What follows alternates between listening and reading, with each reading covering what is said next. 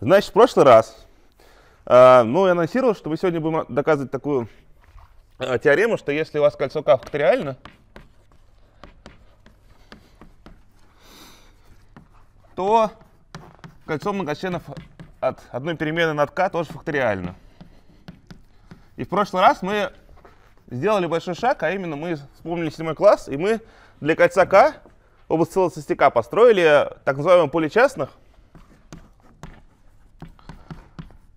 частных, которое я буду обозначать через f, просто рассмотрев всевозможные пары АБ, такие, что b не равно нулю, ввели там отношение эквивалентности, потом ввели на этих парах отношение сложения, умножения, и там проверили некоторые свойства, потому что это поле, остальные как бы остались на семинар. А, и мы знаем, значит, что вот есть у нас поле частных, и что поле частных. А, и мы знаем, что над любым полем кольцо многочленов одной переменной, оно евклидово, поэтому оно факториально. Ну и вот из этих двух компонентов, из того, что k факториально и f от x факториально, мы будем сейчас доказывать, что k от x факториально. А, но это займет примерно у нас, я думаю, половину лекции или чуть больше, а дальше мы поговорим по критериям неприводимости и перейдем, начнем проходить вторую часть курса. Вторую половину курса, а именно к теории полей.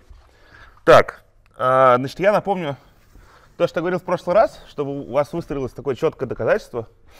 А, как доказывается факториальность вообще? Значит, я напомню, что факториальное кольцо, ну, вообще говоря, там нужно доказать, что существует единственное разложение в произведении неразложимых, неприводимых элементов, то есть в данном случае неприводимых многочленов.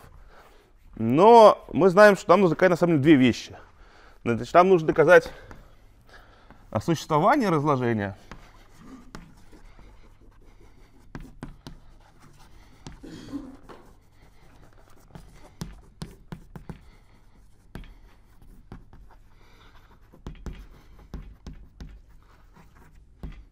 И второе, это то, что любой э, неразложимый многочлен является простым элементом.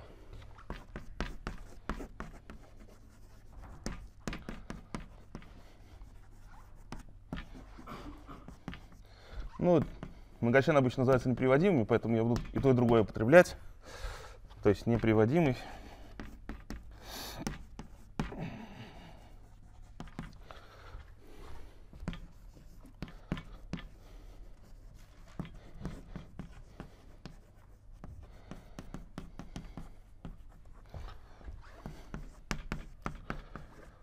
Вот, и основная идея такова, что у вас, если возьмете x, то там бывают э, неразложимые элементы двух типов. Во-первых, это, собственно, неразложимые элементы k. То есть, если нарисовать k от x, то у вас неразложимые элементы — это либо константы, которые неразложимые элементы k. Значит, p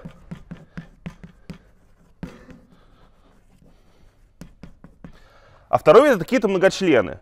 Значит, если мы возьмем произвольный многочлен, то, в край, то у, любом, у любого многочлена можно взять нотовых коэффициентов и вынести за скобку. И это уже будет его разложением. То есть если вы возьмете любой многочлен от x, то вы можете его представить в виде а умножить там на f с крышечкой от x, где а это нот коэффициентов. То есть, по крайней мере, такое разложение всегда есть. И понятно, что у вас, если у вас тут есть какие-то разложимые элементы, то это будет какое-то разложение. Поэтому если многочлен у вас э, является неприводимым, то, что, по крайней мере, нотовый коэффициент должен быть равен единице. И такие многочлены будем называть примитивными. То есть второй тип, неразло... второй тип неразложимых элементов — это неприводимые многочлены с нотовым коэффициентом равным единице. То есть это какие-то примитивные многочлены. Определение, да, многочлен. Я уже говорил об этом в прошлый раз, но я вот еще раз повторю. Значит, многочлен f от x примитивен, если нот его коэффициентов равен единице. Ну или ассоциирован с единицей, что то же самое.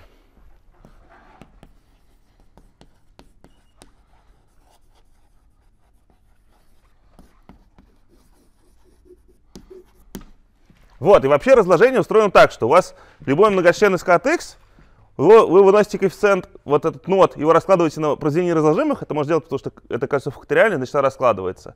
А вот этот примитивный многочлен, ну он, значит, должен раскладываться в произведении каких-то примитивных, неприводимых многочленов. И мы сейчас будем доказывать, что это, вот именно такая ситуация есть, и такая картинка действительно имеет место. А, ну, тут возникает вопрос, как доказывать вторую часть. Я сейчас просто вот накидываю идею, а потом сейчас буду подробно строго доказывать. Вот, значит, а нам нужно еще, значит, чтобы разложить многочлен, вот мы вынесли коэффициенты разложения на такие неразложимые элементы, а потом еще нужно с примитивным многочленом что делать. Но мы знаем, что у нас кольцо f от x факториально, поэтому мы можем вот этот примитивный многочлен разложить над кольцом f от x. То есть представьте эти произведения многочленов, но у них будут там, вообще говоря, коэффициенты не целые, да, ну то есть не, которые лежат не в k, а которые лежат в этом поле частных. Но если у нас есть многочлен в поле частных, то мы можем все эти коэффициенты как бы э, найти там, вынести общий знаменатель и вынести общий числитель и избавиться от, от этой вот нецелости. И получить, что этот многочлен — это какой-то примитивный многочлен умножить на какое-то число. То есть, э, ну, давайте я утверждение напишу. Значит, во-первых, я хочу сказать, что ну, да, несколько тривиальных утверждений сделаю. Во-первых, если у вас есть просто многочлен — Значит, если у вас есть многочлен из от x, то э, существует такое а, ну, собственно, его можно представить как какой-то примитивный многочлен умножить на какое-то число. Но это просто по определению. Существует а k такое, что f от x равно а на, f скрыточка от x, где f скрыточка от x примитивный.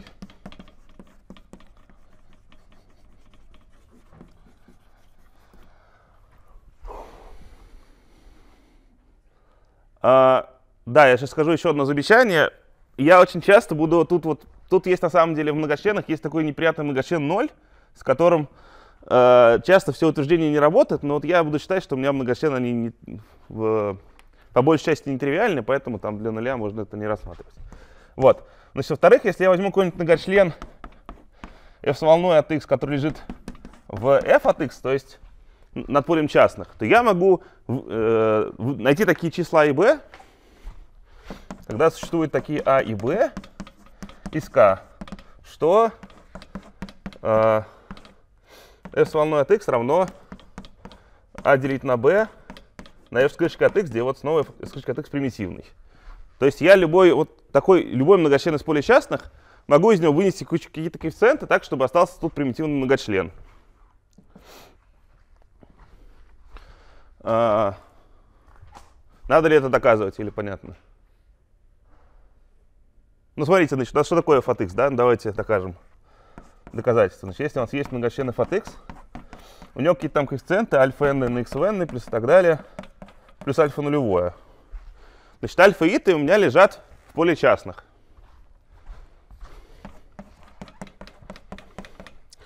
Ну, то есть альфа ита на самом деле равно какое-то аита на биита, где аита и у меня лежат в k. То есть у меня этот многочлен, можно переписать его как ан на bn на x в n плюс так далее, плюс а нулевое на b нулевое. А, ну и дальше я могу просто взять, вывести э, общий знаменатель и сказать, что это то же самое, что... Ну, давайте я тут напишу.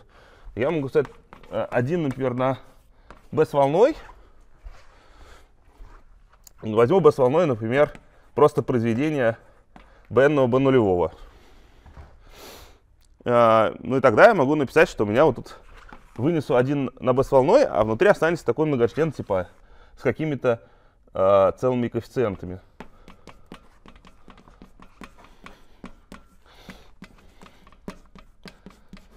Ну, я вынес там, вынес э, такой знаменатель, значит, у меня, э, я должен домножить это все, там, а n должен домножить на b-1 и так далее, b0 и так далее. Ну вот я получил какой-то многочлен э, с целыми коэффициентами. Ну а дальше из него я могу просто вычесть его нот, в таком видео представить. Ну вот у меня получится, что... Значит, вот этот многочлен я могу переписать как а на f с крышечкой от x, и тогда получится, что исходный многочлен — с волной от x но он представился как какое-то вот А на Б на F с крышкой от X. Так. Понятно, что происходит? Или я слишком быстро говорю? Нормально. Окей. Ну, то есть, э, вот эти многочлены, которые с такими дробными коэффициентами, типа с рациональными коэффициентами, они на самом деле просто отличаются на константу от обычных многочленов. И в следующем, что если мы умеем раскладывать э, над, над полем f многочленно неприводимые, ну то мы, в принципе, можем, э, мы можем домножать на коэффициенты и получать разложение для каких-то каких многочленов sk от x. И на самом деле этого разложения нам хватит для того, чтобы доказать факториальность. Э, ну, давайте это подробно напишем. Значит, утверждение. Пусть у меня, опять еще одно вспомогательное утверждение, значит, допустим, я многочлен из f от x представил в виде произведения каких-то многочленов. Значит, f от x и f от x, они лежат в f в поле частных. В кольце многочленов над полем частных. Тогда, если я возьму соответствующие им примитивные, то для них просто выполнено э, вот такое равенство.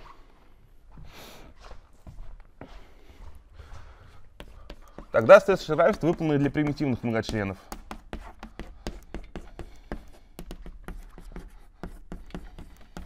Я вот тут буду использовать везде такие обозначения, где у меня обычный многочлен, это он лежит в k многочлен с крышечкой, это которая э, примитивная его часть, а с волной это многочлен, у которого коэффициенты могут быть Э, не лежат в К, а именно быть какими-то дробными, дробными частями.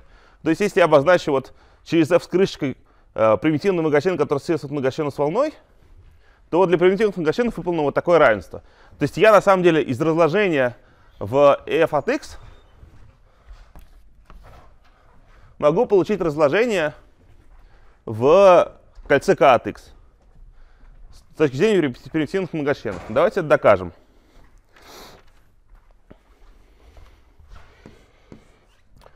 А, ну, значит, мы по вот, вот, предыдущему утверждению я могу любой многочлен представить как э, примитивно на какие-то два коэффициента.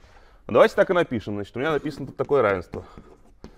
А, Б на f с крышечкой от x равно А1, B1 на f1 с крышечкой от x и так далее.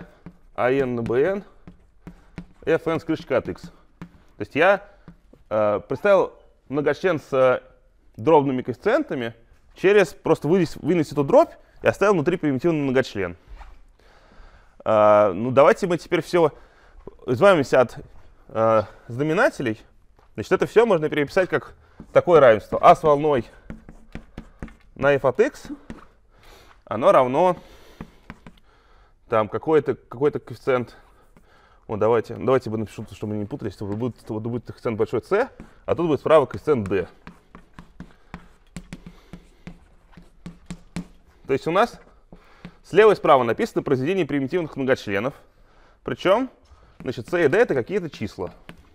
Вот я хочу в таком равенстве избавиться от c и от d. Сказать, что если у нас выполнено вот такое равенство, то на самом деле я могу написать э, вот равенство в духе того, что написано сверху.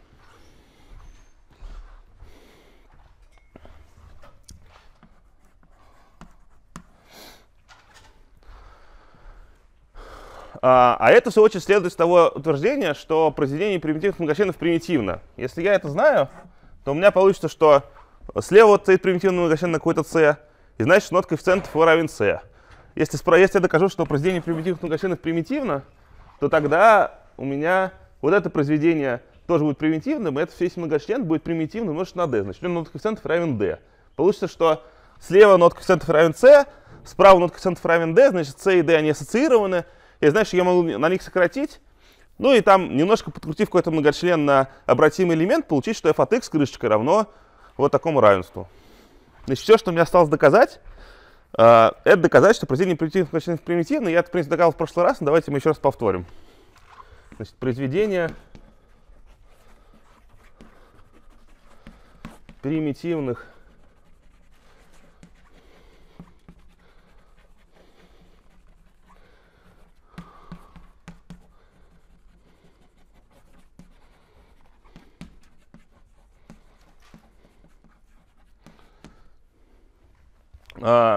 значит, я напомню, что мы в прошлый раз это доказывали, причем мы просто посмотрели на... А, просто мы, мы доказывали, использовали фактор колец. Давайте я это повторю, что мы там делали. Мы сделали следующее. Значит, мы взяли... А, использовали так называемую лемму... Ну, есть такое утверждение, которое называется лемма Гаусса. Ее можно сказать, как просто вот это утверждение называется лемма Гаусса. Ну, или а, ну, то есть это, это все эквивалентное утверждение. Ну или сейчас то, что такое утверждение, тоже называется лемма Гаусса. Значит, берем, допустим, есть два многочлена примитивных, да, пусть f1 от x и f2 от x, они примитивные. Следовательно, их произведение тоже примитивный многочлен. Ну пусть это не так. Значит, пусть это не так. То есть произведение многочленов делится на какой-то, значит непримитивный многочлен? Значит, нот нетривиален. Если нот нетривиален, значит, найдется какой-то неразложимый элемент, э, на который делится это произведение.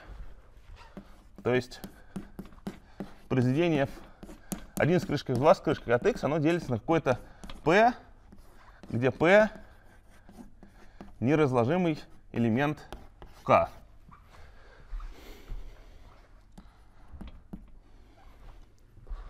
Ну а из этого следует, что на самом деле либо f1 с крышкой от x делится на p, либо f2 с крышкой делится, из x делится на p. Почему это так? Ну потому что p не разложим в k. Значит, p это простой элемент k. Значит, k по идеалу порожденному P это область целостности.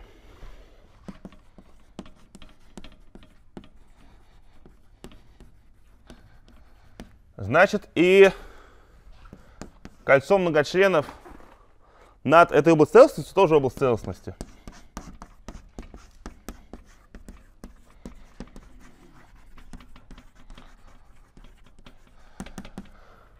А эта штука канонически изоморфна Э, фактору кольца многочленов к от x по идеалу порожденному P.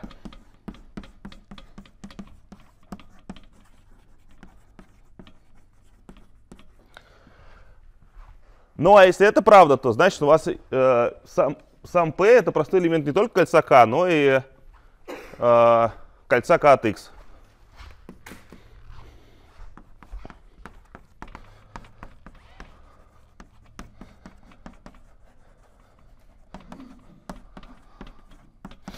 Но это значит, что если у вас произведение двух многочленов делится на p, то значит, хотя бы один из них становится делится на p.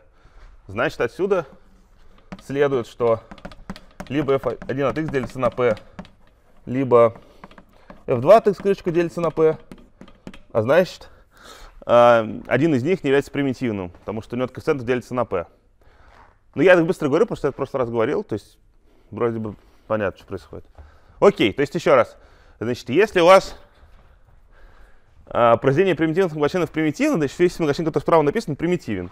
Ну и дальше нужно использовать, конечно, такое простое утверждение, которое я могу тоже оставить там на то, что в семинаре разобрали, что если у вас есть примитивный многочлен умноженное какое-то число, то значит нот коэффициентов у этого многочлена равен там c. Ну это понятно. Ну и тут тоже. Он еще этого многочлена нот коэффициентов равен c, у этого многочлена нот коэффициентов равен d, значит c и d ассоциированы, иначе я могу на них сократить. Значит, нот коэффициентов многочлена c f от x равен c, справа многочлена d, значит c и d ассоциированы, то есть встречаются на какой-то обратимый элемент кольца k. Ну и значит можно там написать равенство в духе f от x крышечкой равно какой-то u на обратимый элемент на f1 с крышечкой, у него тоже будет примитивный многочлен, f2 с крышечкой и так далее, fn с крышечкой. Понятно, что если я домножил на обратимый элемент, то он остался тоже пропорционально многочленным, там ничего не поменялось. Вот, то есть мы тем самым, мы в этом утверждении доказали две важные вещи. Во-первых, мы доказали, что вот про часть 2 мы доказали, что если у вас есть неразложимые элементы k, то они простые элементы k от x. Это часть второго утверждения. А вот эта вот часть, она поможет вам переходить от, от разложения в э, кольце f от x к разложению в кольце k от x.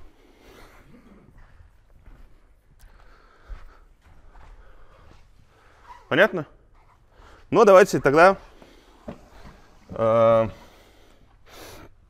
можете теперь все доказать. Ну, давайте что-нибудь докажем. Например. Ну, давайте еще одно утверждение докажем. Вот там было утверждение 1, это будет, будет утверждение 2. Давайте еще третье докажем. Тоже полезное утверждение. Значит, пусть у меня есть примитивный многочлен. Давайте я вот тут без крышки напишу. Ну и степень его больше единицы. Нет, больше, больше нуля. Ну, чтобы... У нас есть такие константы, которые примитивно многочлен ровно, ровно единицы обратимы, но мы их не будем рассматривать. Тогда, значит, f крышкой не приводим.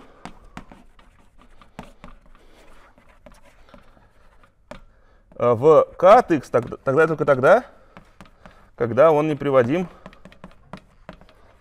в f от x.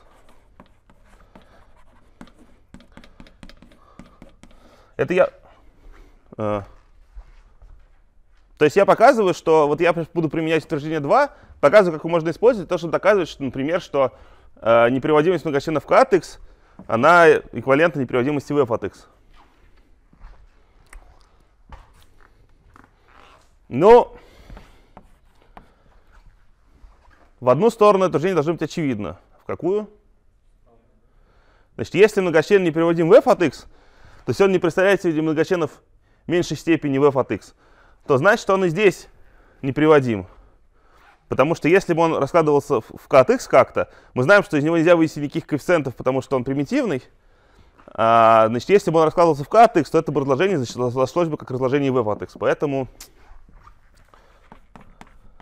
справа налево это очевидно. Поэтому интересно представляю только случай слева направо. Ну, значит, пусть он не приводим э, в k от x. Давайте докажем, что он не приводим в f от x. Но пусть он приводим в f от x. Значит, пусть мы его разложили в f от x, значит, у нас получились какие-то тут многочлены f1 от x волной, fn от x волной. По предыдущему утверждению мы знаем, что тогда для него выполнено то же самое равенство с крышечками. Значит, выполнено равенство с крышечками.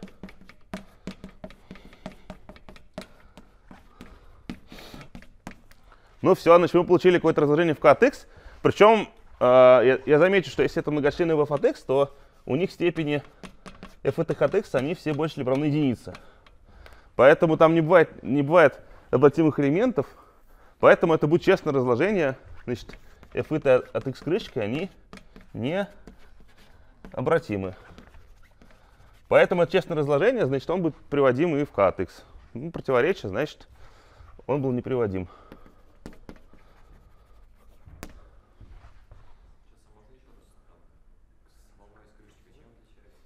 Еще раз. С волной это многочлены, которые лежат в, у них коэффициенты э, это в полечастых лежат.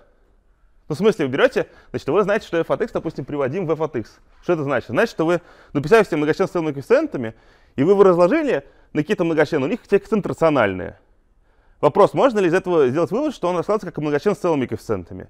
Ответ – да, можно, потому что если у нас есть многочлен, который раскладывается в пределе многочленов с рациональными коэффициентами, то мы, используя это утверждение, ну там берем, домножаем их на общий числитель знаменатель, выносим за скобку, получаем такое равенство, сокращаем на него и получаем разделение в целых с многочленных с целыми коэффициентами. То есть я пытаюсь вас убедить, что разложение многочленных с социальными коэффициентами разложение многочленных с целыми коэффициентами, оно как бы ничем не отличается. То есть это, в принципе, одинаковые вещи.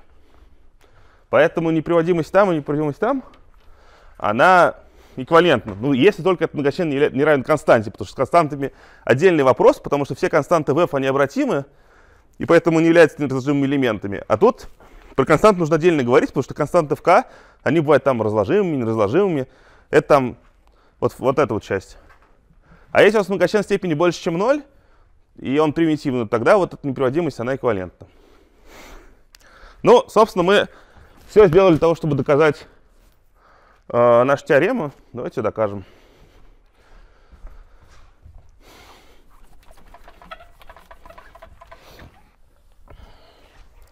Теорема. Значит, если k факториально, то k от x тоже факториально. Значит, нам сначала нужно доказать, что существует разложение.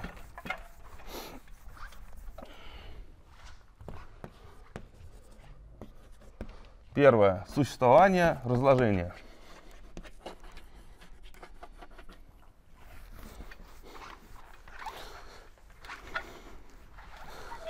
Ну, мы, собственно, все уже сделали. Берем многочлен, выносим ноту коэффициента, выставляем его, значит, какой-то коэффициент А умножить на примитивный многочлен.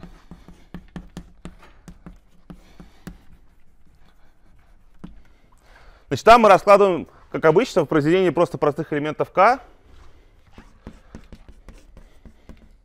Они же неразложимые и неразложимые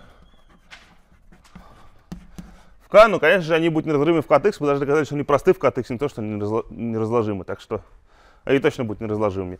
Осталось вот эту часть разложить.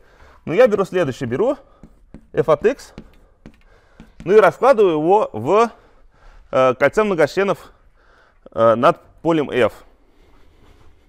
Значит, это разложение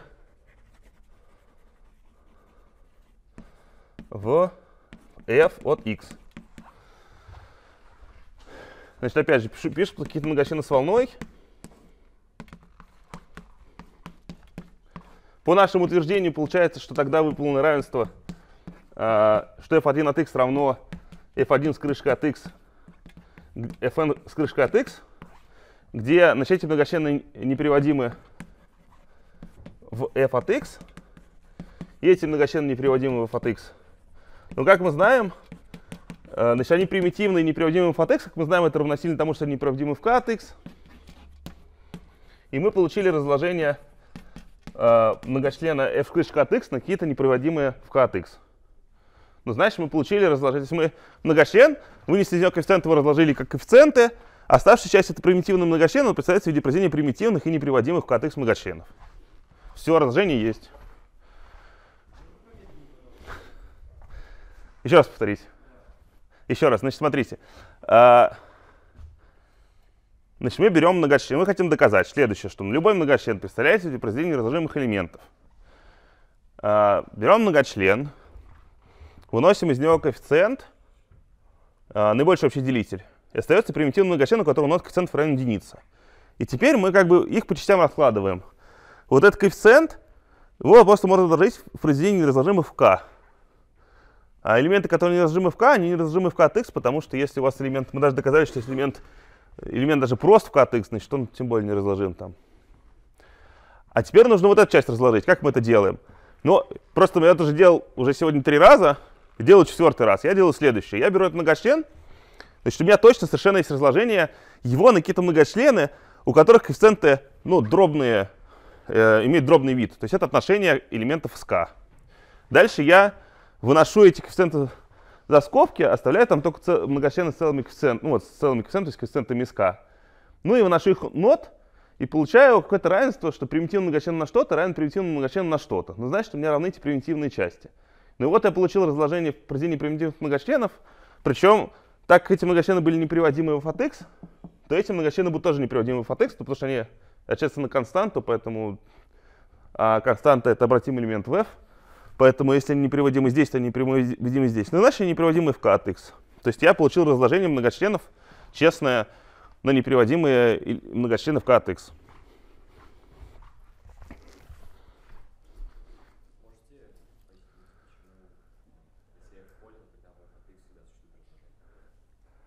Смотрите, если у нас есть поле, то вот это кольцо, оно евклидово, потому что у нас есть э, в виде нормы в виде степени. Ну, смотрите, мы, если у вас есть два многочлена f и g в f от x, э, то вы всегда можете сделать следующее. Вот у вас есть степень f больше, чем степень g, вы можете всегда старший коэффициент g намножить на такой коэффициент, чтобы... Ну, да, да, потому что это поле. То есть в в, К, в, К, в проблема. В К проблема в том, что вы не можете домножить. Вы, например, берете, вот у вас есть там э, многочлен, например, там 2х минус 5 и многочлен в квадрате. Вот вы не можете этот многочлен на это разделить с остатком, потому что вы умножаете его на x, а получаете 2х в квадрате. Но как бы в квадрате вас нельзя сократить, не сокращается. Но вы можете разделить его э, в f от x с остатком. Ну и потом, то есть То есть вы знаете, что этот многочлен может быть не делится, но если вы домножите на какой-то коэффициент, то есть сын 2, то он там разделится как-то на этот многочлен, и можно получить остаток. И из этого можно там что-то извлечь. Так, еще может вопросы есть? А, значит, вторая часть. Значит, если мы доказать существование, все, что нам осталось доказать, это доказать, что у нас э, любой неразложимый элемент является простым. Значит, ну, мы хотим доказать, что если, э, значит, если у вас есть неразложимый, ну, неприводимый многочлен,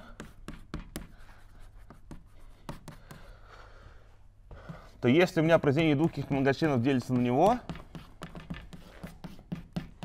то какой-то из этих многочленов делится на f от x.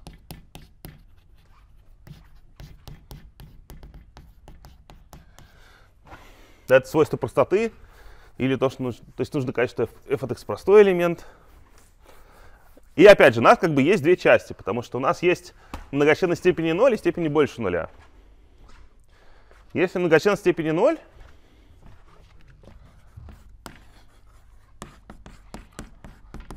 то эта константа,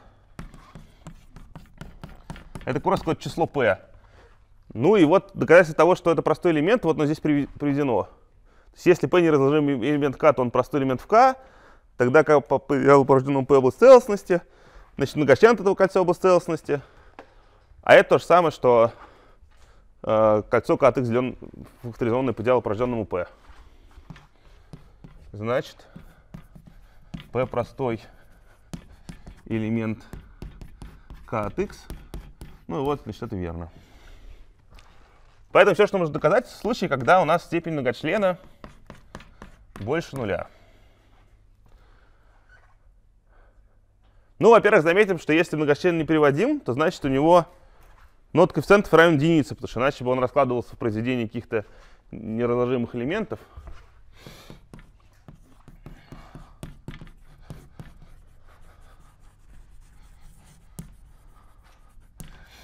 Ну да, опять же, могу это оставить в качестве упражнения. Ну, то есть, ну, понятно, да, что если бы у меня f от x был бы а на f от x крышечкой, то получилось бы, что у вас есть э, какой-то а какой-то простой элемент, получилось бы, что f от x делится на простой, на неразрываемый элемент, чтобы с ним совпадал. Ну, как мы будем доказывать? У нас никаких способов нет, кроме того, как использовать, опять же, что у нас, значит, про k от x мы ничего не знаем, зато мы знаем про f от x. Мы знаем, что в f от x любой неприводимый многочлен является простым, потому что f от x факториально, значит, f от x простой элемент. Ну, то есть, видите, мы опять делаем то же самое. У нас все неприводимые элементы — это либо константы, либо многочлены в степени больше нуля. И для констант мы используем то, что k является факториальным, а то, что если многочлен степени больше нуля, то мы используем, что f от x факториально. Что значит, что f от x простой элемент э, f от x? Это значит, что, ну, вот если произведение двух многочленов делится на f от x, то значит, происходит делимость, но не в кольце k от x, а в кольце f от x.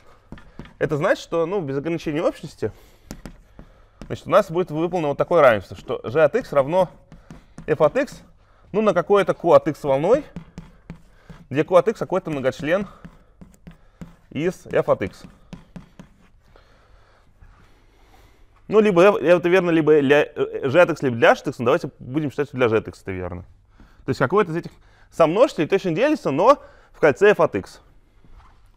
Но мы знаем, что у нас если равенство выполнено в кольце f от x, то мы можем из него извлечь равенство для кольца k от x. Как, ну, значит, что верно. Значит, отсюда следует, что g от x крышечкой равно f от x крышечкой на q от x крышечкой. Все эти многочлены лежат, значит, они отличаются от этих многочленов на какие-то на умножение или на деление каких-то чисел из k, а эти многочлены уже все, все в k. Значит, это примитивные многочлены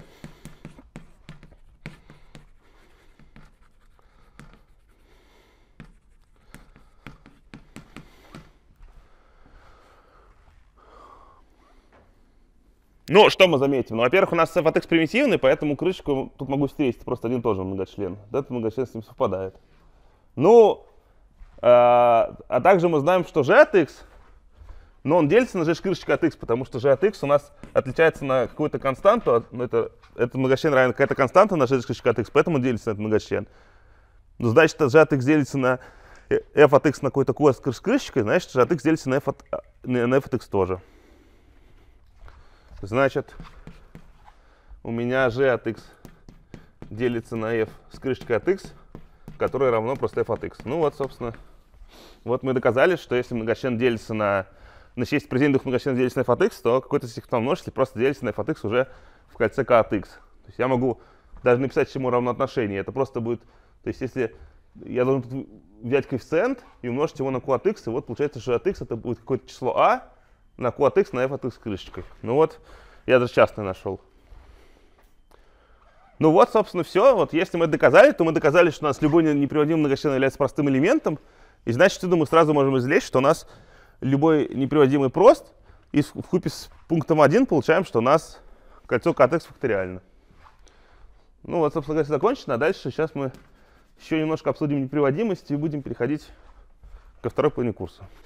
Значит, смотрите, значит, э, значит на мы сейчас доказали такую вещь, да, что э, и, там, например, берете поле Q, да, и вот мы доказали, например, что кольцо многочленных фотон переменных над Q, оно факториально.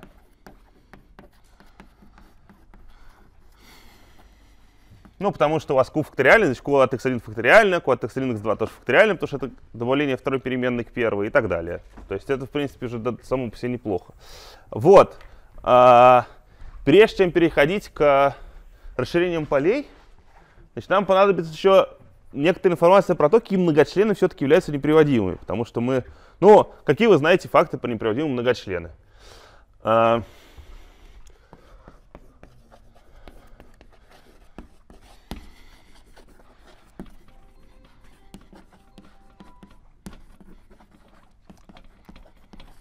Ну, сейчас нас будет очередь интересовать поле из рациональных чисел. Но кое-что можно сказать для, все, для произвольного f. Значит, понятно, что у вас, если вы посмотрите на f от x, где f такое-то поле, то вы точно знаете, что у вас все многочлены нулевой степени константы, а все многочлены степени 1, они непереводимы.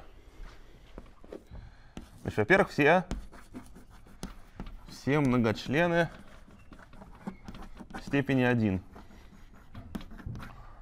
А, то есть если у вас есть многочлены степени 2 или 3, то неприводимость равносильна тому, что у них нет корней. Если многочлены степени 2 и 3, то f от x неприводим. Тогда и только тогда, когда f от x у него нет корней.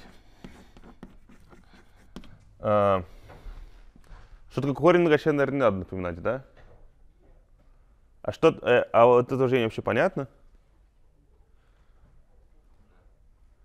Значит, если многочлен степень многочлена 2 или 3, то э, если бы он был приводим, то он представлялся для произведения каких-то компонент. Значит, так как у нас все константы обратимы, то произведение, когда мы раскладываем произведение многочленов f от x, то всегда у нас степень уменьшается. Поэтому если бы у вас многочлен он был бы приводим, то он представлялся произведение многочленов в меньшей степени, а значит, что у вас хотя бы один из этих множителей был степени 1, а значит, что от x есть корень. Поэтому, если вы хотите проверять для степени 2 и 3, 2 и 3 что многочлен не приводим, можете просто проверять, что нет корней. Ну, если у вас степень больше, чем 2 и 3, то тут уже сложно, потому что никаких разумных критериев неприводимости нет. Можно говорить что-то только в частных случаях. Ну вот, например, возьмем в качестве f э, поле рациональных коэффициентов. Ну, во-первых, э, я вот часто с удивлением узнаю, что вы не знаете, как проверить, является ли, имеет ли многочлен над корни. Это нам поможет в случае степени многочленов 2 и 3. Но вот, значит, если у вас есть э, ну, понятно, что любой многочлен с код x можно привести к умножению коэффициента к многочлену с целыми коэффициентами, поэтому удобно делать так. Если мы берем многочлен с целыми коэффициентами, а это целые коэффициенты, Значит, вопрос, когда? Значит, если p э, на, на q является корнем, то что верно про эти коэффициенты? Вы знаете вообще? Знаете такое свойство? Что вообще можно сказать? А что можно сказать? Что на что делится? А, значит, p делит А0, и все. А Q делит АН. Это всем понятно, не надо комментировать, да? Ну, то есть, если у вас выполнено равенство АН а, ПВН на QN плюс и так далее, плюс А0 равно нулю, то вы можете домножить на QN и получить, что у вас все слагаемые, кроме первого, делятся на Q. Ну, P и Q, естественно, у меня непереводимая, несократимая дробь. Я этого не написал, но я подразумевал этого. Вот. То если вы домножите, то у вас будет такое равенство. n на pvn плюс an минус 1 на pvn минус 1 на q, плюс и так далее, плюс a0 на qn равно нулю. Но у вас первое слагаемое делится на q, а так как p и q зоны просты, то значит n делится на q. Ну а последнее слагаемое делится на p, значит оно делится на p. То есть, в частности, если вы хотите проверить, что многочисленный это корней, то вы просто проверяете все э, делители А0 и АН, и можете просто перебором проверить, что многочлен нет корней. И, по крайней мере, для многочленной степени 2 и 3 вы уже что-то можете сказать.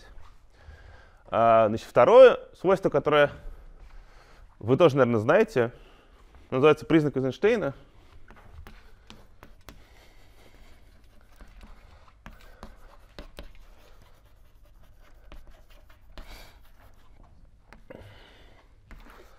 Он говорит следующее.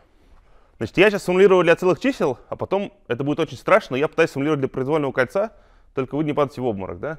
Значит, э, берем многочлен, а n, n, x, n, плюс так далее, плюс а0, все коэффициенты целые. Значит, если найдется такое число p, простое, если существует такое простое p, ну, простое целое число, что АН не делится на P, а n минус 1, все остальные коэффициенты, кроме АН, делятся на P, а последний не делится на P в квадрате, то этот многочлен не приводим над Q от x.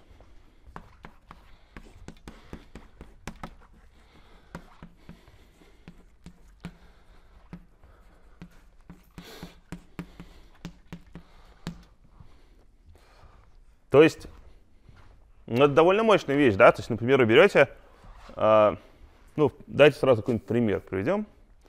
Ну, у нас, наверное, будет на семинаре. Вот например, берете многочлен,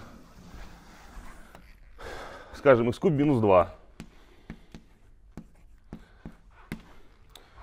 Вот вас спрашивают, почему он не приводим. И вы можете, у вас есть даже сразу два способа доказательства. Во-первых, вы можете просто проверить, что нет корней, потому что если у вас несхотимый дробь является его корнем, то у вас Э, числитель делит двойку, а знаменатель делит единицу, то есть он равен единице. Поэтому вам нужно всего лишь проверить, что плюс-минус 1 плюс 2 не являются корнями, это легко проверить. Это вот первый способ. Второй способ — это признак применить. Какой МП возьмем для того, чтобы это проверить? Так, никто меня не слышит. Ну, смотрите, нам нужно, чтобы АН не делился на P, все коэффициенты делились на P, последний делился на P в квадрате любое не подойдет. Нам нужно, чтобы последний коэффициент делился на p. Поэтому кроме двойки у нас нет никаких вариантов. Поэтому значит, нас, вот берем такой многочлен. У него первый коэффициент не делится на p, потому что это единичка, на двойку. Все коэффициенты делятся на двойку, там они нулевые либо 2, а двойка не делится на двойку в квадрате. Поэтому получаем, что такой многочлен является неприводимым. И на самом деле аналогично можно взять любой многочлен вида там, берете xn на минус p, где p простое число, и автоматически получается, что этот многочлен тоже неприводим. То есть даже вы, вы сразу можете что сказать про многочлен n степени, что его в принципе вообще никак нельзя разложить над кольцом Q от, над кольцом Q от x. Вообще никак нельзя разложить этот многочлен просто из, из вот этого свойства. А, не видели его раньше, да? Видели, доказывали. Ну, а, сейчас мы это докажем. В принципе, я так могу сказать, что то есть, ну, как, как его можно обобщить? Ну, понятно, что я могу заменить z на любое факториальное кольцо, и как бы ничего не поменяется от этого. И даже, но даже я могу целое число заменить на что-то более общее. А именно, в общем случае, ну, раз вы до этого уже доказывали, то что я буду повторять? Я лучше для общего случая докажу. Значит, берем многочлен. Э, ну, над каким-то над каким-то кольцом факториальным k. И пусть у меня, ждали мне факториальность тут, ну сейчас поймем. И пусть есть у меня простой идеал i, такой, что АН не лежит в идеале, все элементы лежат в идеале, кроме АН, а последний элемент не лежит в квадрате этого идеала.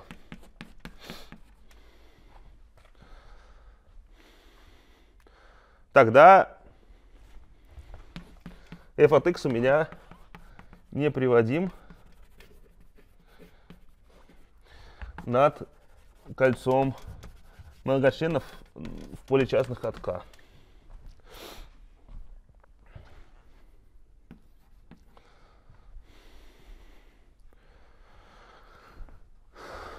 Ну вот, если я целых чисел мы просто берем в качестве простого идеала идеал, порожденного простым числом, то никаких других простых идеалов нет.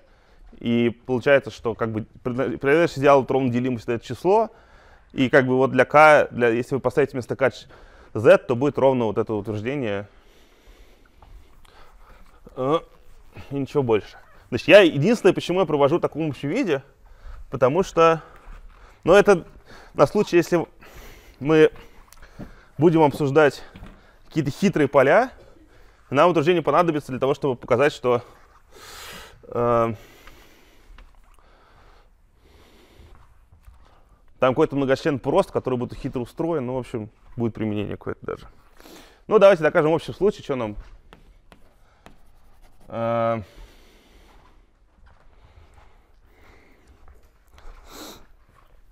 ну, пусть f от x приводим.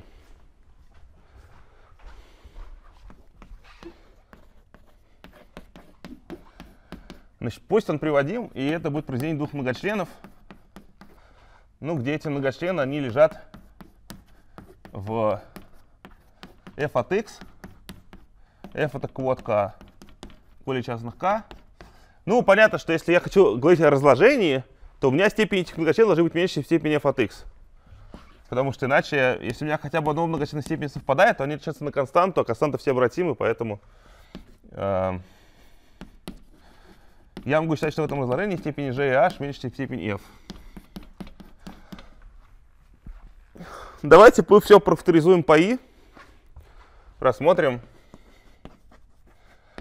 э, фактор кольцо k по i. Как мы знаем, это область целостности.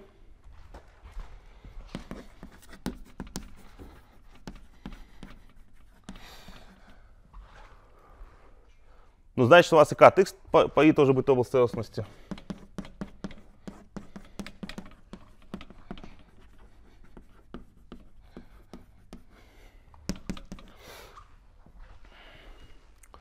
Значит, перейдем к фактору. Что происходит в факторе?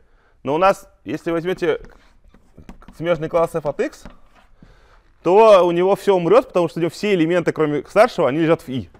Поэтому э, в факторе он будет просто равен а, там an на xn. То есть от этого многочлена останется только его старший коэффициент, больше ничего. Ну и он равен произведению сомножителей. g от x и h от x. Ну, теперь самый интересный вопрос. Как, вот, как вы вот берете многочлен an n x в n? Как вообще вы можете разложить произведение двух многочленов?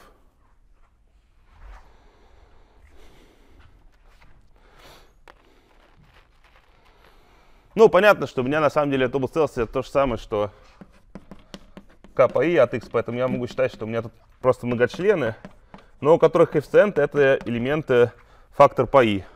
Поэтому у меня просто многочлен какой-то n степени, он представляется в виде произведения каких-то двух других многочленов э, степени поменьше. Вот представьте, что у вас есть многочлен, а n какой-то многочлен x в n, и он представляется репродуцентом двух многочленов. Какие эти многочлены могут иметь вид вообще?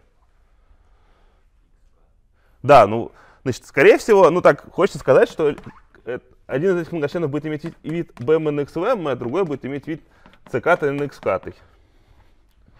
И вот, то есть у нас эти многочлены будут иметь вот такой вид и никакой другой. Это вообще правда? Почему? Ну, да, но можно сказать так, что если мы возьмем, например, здесь и здесь э, минимальный нулевой коэффициент, то в произведении тут тоже минимальный нулевой коэффициент, и он будет уже совпадать с старшим коэффициентом. Поэтому, если возьмете минимальные коэффициенты в этих двух многочленах, то они просто должны совпадать с, э, со старшими. Ну и поэтому это просто многочлен состоит из одного сомножителя. Вот, но если мы это, э, если мы это сделали, то дальше все очевидно, потому что у вас, э, так как m и k меньше, чем n, то m и k больше нуля, тогда получится, что b нулевое равно c нулевое, и этих класс равен нулю, значит b нулевое и c нулевое лежат в i, а значит их произведение лежит в, в квадрате, оно равно а0. Поэтому мы получаем, что если такое верно, то обязательно А0 лежит в квадрате, получаем противоречие. То есть, еще раз, э, значит, если бы условие теоремы, значит, в чем состоит условие теоремы? Он говорит примерно следующее, что берете многочлены, которых в произведении по модулю И все остатки убьются, кроме старшего, а при этом нулевой остаток хотя бы одного из многочленов должен быть не нулевым, потому что иначе бы и произведение этих, этих остатков, то есть А0, был, лежал бы в квадрате. Но это возможно только в том случае, если у вас там какой-то из них равен нулю, а другой равен n. Ну, такого быть не может, потому что у вас э, у этих многочленов степень э, меньше, чем, чем степень f от x. Э, поэтому такого просто не может быть. Ну, то есть, если у вас какого-то, здесь был бы m равно нулю, тогда бы k было равно n, значит, многочлен h был бы и в этом кольце был, была бы степень n, но получилось бы противоречие.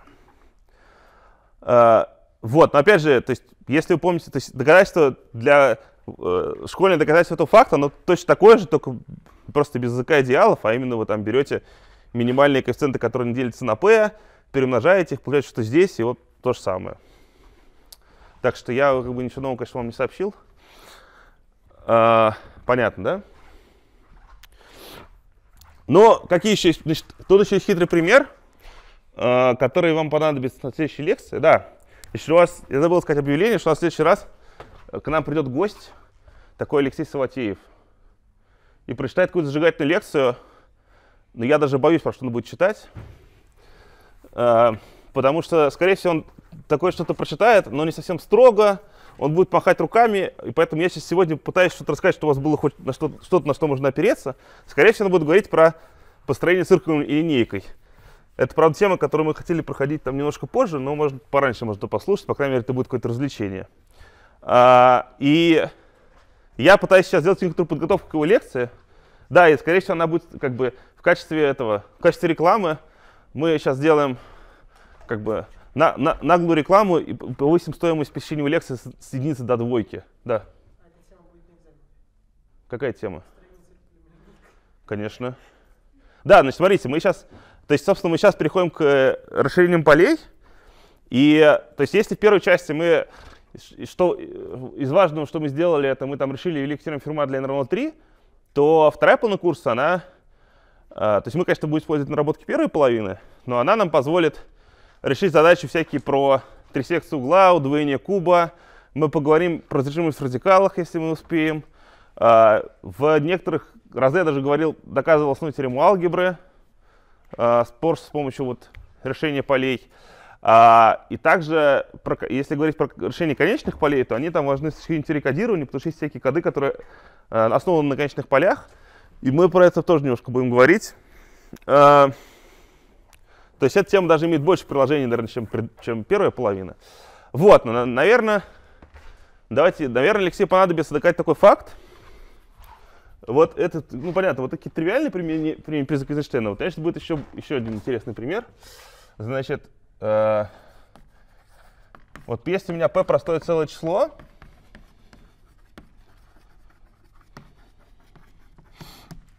а, то будет важно, ну, э, я скажу сейчас, зачем это нужно, и потом докажу этот факт. Значит, э, чтобы понять, какие, какие правильные многоугольники можно построить с помощью циркуль линейки, надо говорить про многочлен x в n минус 1. Ну, где n тот многоугольник, который вы хотите построить, потому что все, что вы хотите сделать, это на самом деле э, взять комплексную плоскость и с помощью циркуль линейки построить какой-нибудь корень на степени единицы. Если вы один корень построили, минимальный, то дальше вы уже с помощью там, поворотов сможете его размножить и построить правильный наугольник. А это значит, что вы хотите на самом деле добавить корень вот этого многочлена. А, и для того, чтобы понять, как это все устроено, а, будет полезно посмотреть на многочлен. Ну, этот многочлен, естественно, раскладывается на x минус 1, на x степени n минус 1 плюс так далее плюс 1. И вот этот многочлен он иногда будет непереводимым. И в частности, если p простое целое число, то вот такой многочлен, значит, x степени p минус 1 плюс x степени p минус 2 плюс так далее плюс 1, он будет непереводим над q от x.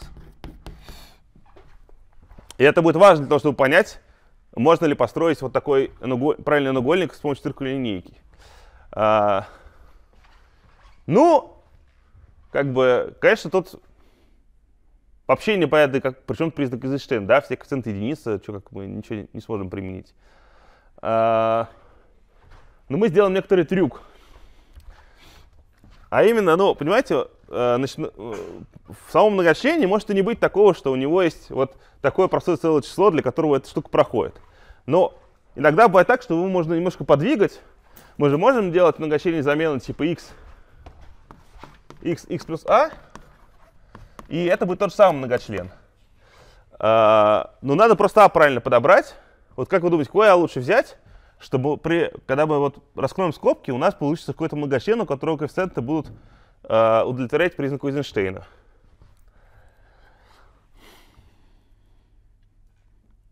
А, подсказка. Этот многочлен — это x степени p минус 1 делить на x минус 1.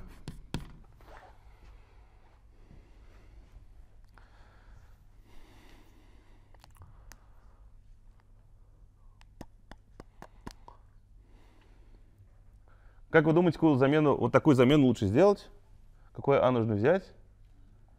Минус 1. Конечно, берем t равное x минус 1. Тогда этот многочлен превращается в t, в степ... t плюс 1 в степени p минус 1 делить на t. Правильно? А, так, раскроем. Значит, получится следующее. Будет, ну вот, в знаменателе будет t, а в числителе будет написано t плюс p плюс тест p по одному на t в степени p минус 1, плюс тест по 2 на t в степени p минус 2, плюс и так далее, плюс CSP по p на единицу, а, на, на, на t, плюс 1 минус 1 делить на t. Ну, единица сокращается, на t мы сократим, и получим многочлен вот такого вида. t в степени p минус 1, плюс CSP по одному на t в степени p минус 2, плюс и так далее, и все заканчивается CSP по p. Так, значит, мы применим признак Эйзенштейна к какому простому числу? P. Значит, Че? А, по минус 1, да, правильно. Значит, э, как вы знаете, пока всегда делится на P. И, во-вторых, последний коэффициент он равен как раз P, потому что CSP минус 1, и он не делится на P в квадрате. Поэтому, применяя признак Эйнштейна для такого многочлена, получаем, что вот такой многочлен Q не приводим. То есть, в частности, если вы берете многочлен их степени p минус 1, то его изложение над Q выглядит так, что это просто две скобочки. А, ну хорошо, давайте тогда поговорим немножко про... Я вот начну что говорить про решение полей. Надеюсь, я скажу достаточно, чтобы вы на следующей лекции тоже все поняли и вам было комфортно. Но, вообще говоря, ну, я...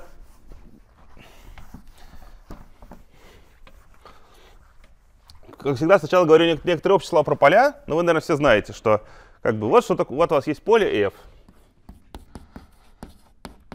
Значит, первое, что хочу сказать сразу, что у поля есть характеристика. Характеристика поля — это минимальное количество единиц, минимальное такое k, что сумма единиц объединенная k раз дает 0, ну или э, 0, если минимум не существует. То есть у вас характеристика поля это либо конечное число k, если сумма k единиц дает 0, либо 0, если такого минимума не существует, если вы сколько единиц не складываете, получите, э, никогда 0 не получите. Ну, понятно, что легко доказать, что характеристика это всегда простое число.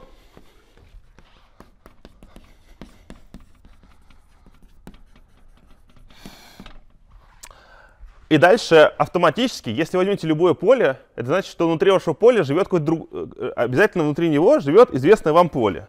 То есть если характеристика поля равна нулю, то всегда это ваше поле содержит рациональные числа.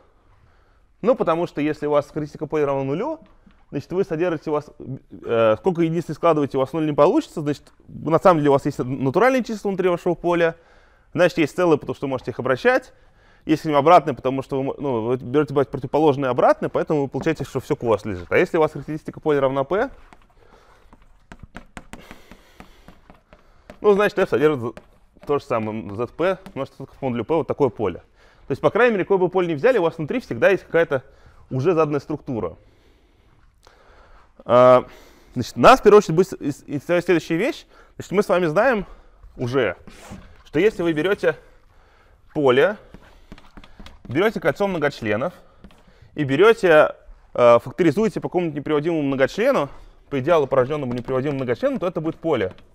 Мы с вами это доказывали на прошлой лекции.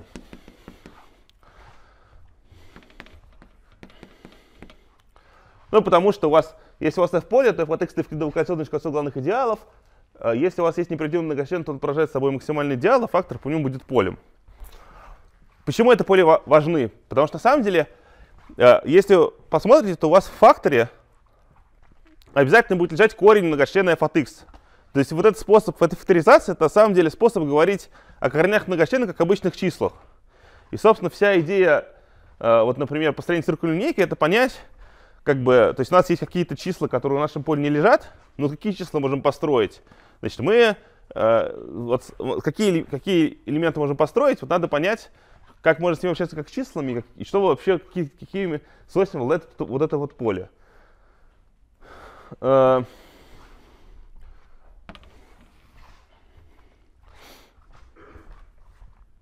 Ну, расширением полей, значит, если поле F содержится в поле L, то эта штука называется расширение полей.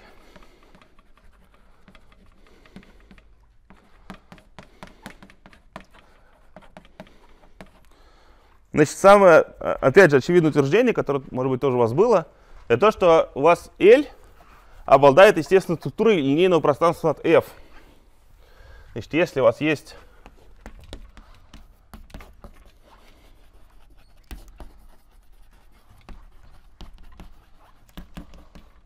то давайте я даже утверждение напишу, то L это линейное пространство над F.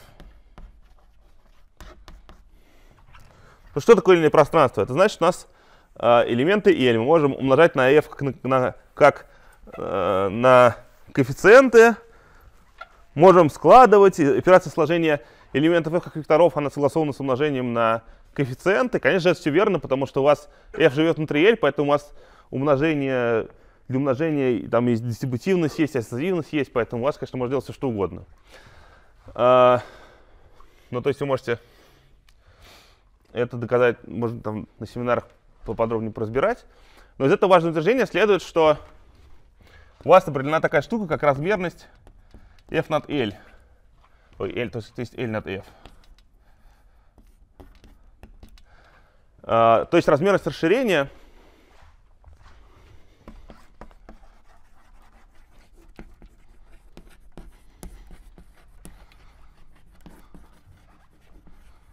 это размерность линейного пространства.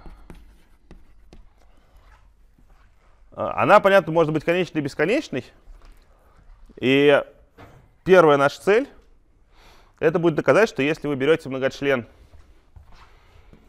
э, берете f, вот такой фактор, берете f от x, факторизуете по многочлену порожденному f от x, то оно содержит f, и степень решения этого поля, она просто равна степени этого многочлена. Вот сейчас я напишу два факта, которые нам понадобятся, или три, которые понадобятся в следующей лекции. Дальше как бы я про что-то про них поговорю, пытаюсь их доказать, но я просто не хочу торопиться, а то иначе вы ничего не поймете. Но как бы вы можете им пользоваться в следующей лекции, а дальше, может, мы подробно их еще расскажем. Значит, это первое, что нужно знать, да, что... Ну, я сейчас напишу какие-нибудь примеры, чтобы было понятно, что происходит. А, второе, что если у вас есть расширение полей, цепочка расширения полей или башня расширения полей, f ложно v ложно k, то и, и там как бы э, все эти размерности конечны, тогда у вас выполнено вот такое соотношение, что э, размерность расширения она равна произведению размерностей. Сейчас, значит, k над f это произведение k над l умножить на l над f. Да, еще говорят именно размерность, еще говорят степень расширения. Тут по-разному говорят.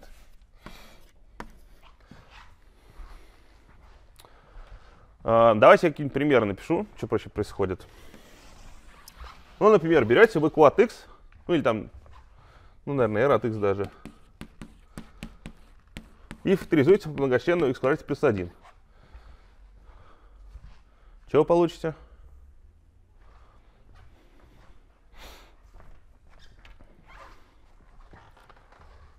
А, не знаю, что получите, понятно. Что получим? Мы получим c. Ну, то есть мы, то есть на самом деле вот эта процедура, это мы просто берем r и добавляем к r корень многочлена x в плюс 1. То есть это на самом деле r с добавленным r от i, то есть просто c. Ну и вы знаете, что c это комплексная плоскость, она это нормально, его можно рассматривать как, как плоскость над, над e, как э, э, линейное пространство над r размерности 2. Собственно, какая степень этого многочлена и есть. Э,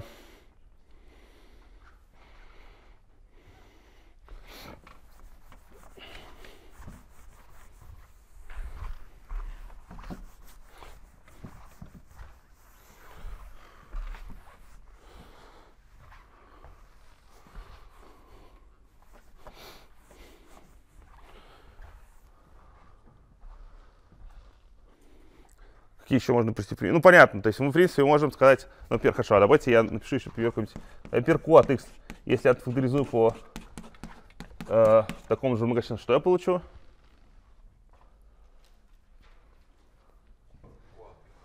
Значит, это будет q от i.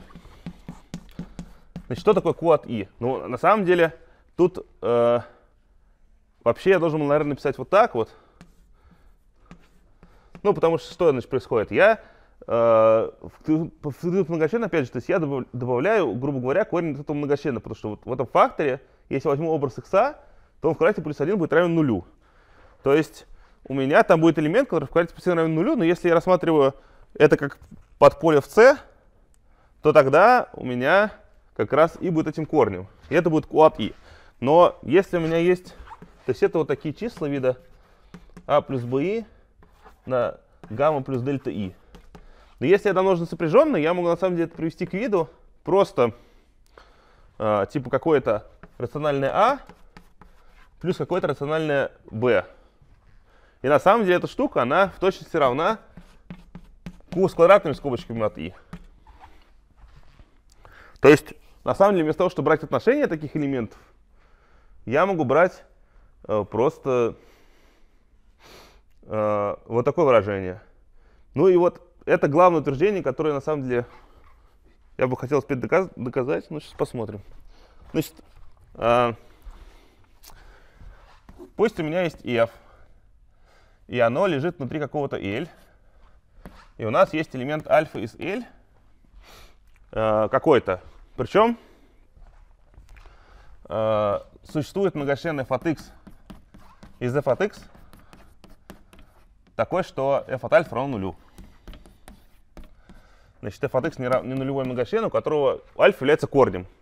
То есть пусть вот у нас есть какое-то расширение, в котором корни многочлена лежат.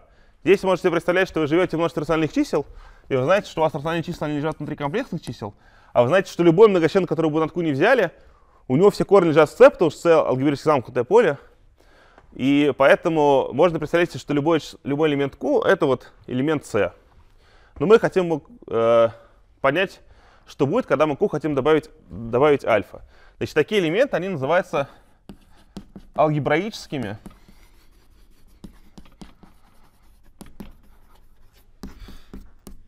элементами над f. То есть элемент является алгебраическим, если найдется такой нетривиальный многочлен, который его обнуляет. Ну и я хочу доказать следующее.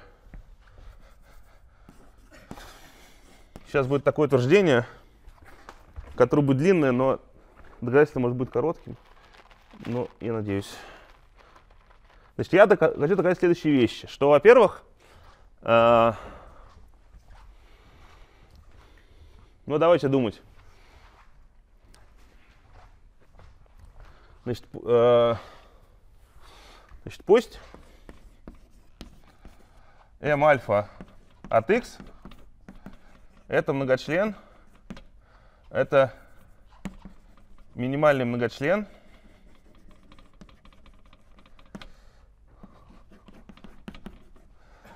э, для альфа. То есть, ну давайте я, наверное, это уже не докажу, и, наверное, на этом мы закончим. Да? А, то есть, для него выполнено одно из следующих вариантов условий. Для него выполнено одно из следующих валентных условий. Значит, во-первых, это многочлен э, минимальной степени многочлен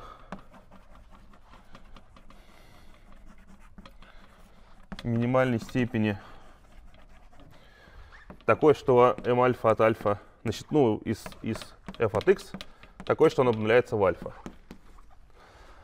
Во-вторых, m альфа от x э, неприводимый многочлен, который обнуляется в альфа. В-третьих, э, m альфа x порождает идеал всех многочленов f от x, у которых альфа это корень.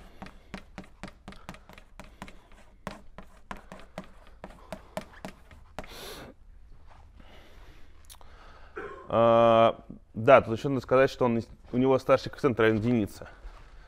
То есть, а, ну сейчас тут напишу.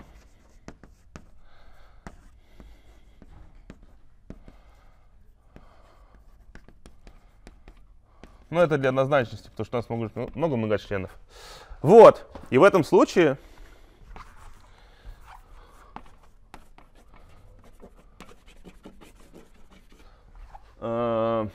Если я хочу профакторизовать f от x по альфа от x, то это то же самое, что я добавлю f от альфа с круглыми скобочками, то же самое, что f от альфа с квадратными скобочками. Ну, отлично. Что-то уже сравнить успел, но непонятно, доказать я не успею. Вот хорошая мысль. Ну, смотрите, давайте я его про, проиллюстрирую хотя бы на том примере. А доказательство будет в следующий раз. То есть, еще раз, что я хочу сказать. Что если вы хотите э, посмотреть на ну вот это то, что я говорил, что на самом деле фактор по неправдивому многочлену это добавление некоторого, э, некоторого элемента альфа к вашему полю. Причем вы можете брать не просто, не, можно брать не э, такие дроби, вы можете просто добавить альфа как кольцо. И это будет то же самое. Давайте я скажу две минуты про, про примерно первых для x куб минус 2. Ну вот вы берете число. Вот поле f у меня будет равно q, а элемент альфа это будет корень кубический с двойки. А, вот это утверждение говорит о том, что если я могу просто возьму а, q от корня кубического с двойки, то есть все такие элементы вида а0 плюс 1 корень кубический с двойки плюс а2 корень кубический из четверки, где а0, 1, а2 рациональные числа, то это будет такое честное поле, которое содержит Q. Ну и содержит такое минимальное поле, которое содержит Q и корень кубический с двойки. Ну и вот это все, можно, как можно сказать, мы просто берем все многочлены, которые обнуляются в альфа. Это многочлены, э, начиная с f от x кольцо главных идеалов, поэтому все многочлены, которые обнуляются в альфа, они продаются каким-то одним многочленом, и тогда ну, этот многочлен будет не что иное, как из куб минус 2. Мы уже доказали, что он неприводим. А, и значит, если бы, значит, во-первых, смотрите, этот многочлен неприводимый, поэтому если был многочлен меньше, на который бы, у которого тоже альфа был, был бы корнем, то тогда этот многочлен делился на него с остатком, и получилось бы, что остатка тоже корень кубический двойки корень, а никакого меньшего многочлена такого не бывает. Поэтому вот этот многочлен, он одновременно как бы и многочлен минимальной степени, у которого корень кубический звуки корень, и неприводимый многочлен, у которого корень кубический звуки корень, и все многочлены, у которого корень кубический звуки корень, делятся на него. Поэтому все эти условия как бы эквивалентны. Ну и в этом случае вот эта штука, она просто канонически изоморфна э, кольцу многочленов от x по корень кубического по x куб плюс 2, потому что вы просто берете от x и брать его в от корень кубический двойки, заменяя x на корень кубический двойки, тогда у вас идеал будет, по которому факторизуете, очевидно, будет вот такой. Поэтому как бы тут на самом деле кажется не очень сложно, я их не успел сказать, но это не важно. Короче, главное, что вы должны сегодня как бы запомнить просто, вот это, грубо говоря, вот эти два факта. Я их в следующий раз подробно расскажу, и на семинарах они будут с примерами, а дальше вот в следующий раз вам Алексей что-нибудь расскажет на основе вот этих фактов что-нибудь. А это я еще раз повторю. Все, всем счастливо, спасибо.